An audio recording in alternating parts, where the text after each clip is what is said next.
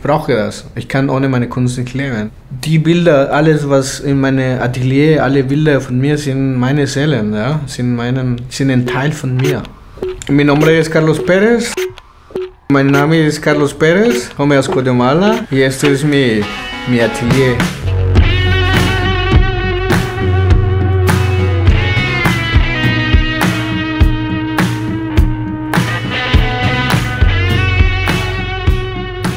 Lack, Öl, Acryllack, Ölkreide, alles was da zu sehen ist, kommen einfach auf die Leinwand wieder mal drauf.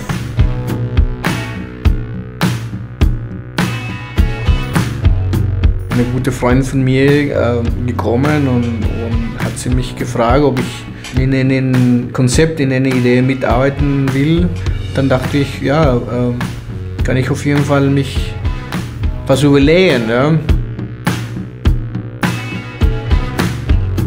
Espacio de los Venados, das klingt sehr gut auf Spanisch eigentlich. Diesen Hirschenplatz. Also die Idee war, eine Art Dschungel zu bauen, in einen Innenraum. Ja? Also ich denke schon, dass die Leute sich wohlfühlen, oder? Also wenn, wenn ich die Tour und meine Tour auch machen und gleich irgendwie sowas Lebendiges, Buntes sehen, habe ich sicher eine große Lache in meinem Gesicht. Ja.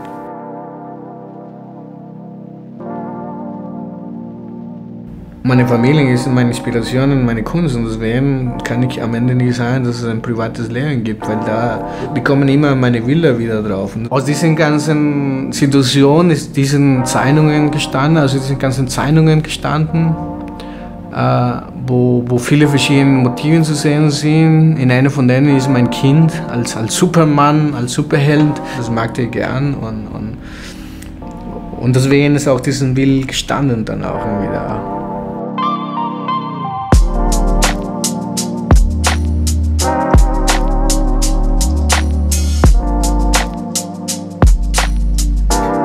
ich schon sagen, meine Arbeit ist sehr vielfältig, weil das ist so wie, wie jeden Tag aufstehen. Ja? Also man, man sieht jeden Tag irgendwie was Neues. Und für mich ist auch immer wichtig, dass, dass, dass meine Arbeit nicht schläft. Also dass immer wieder was, was passiert auch, ja? dass ich jeden Tag irgendwas Neues machen kann. Das freue ich mich. Meine Bilder sind wie ein Spiegel auch, ja, wo ich mich wieder sehen kann, ja, wie ein Fenster in eine andere Dimension sozusagen.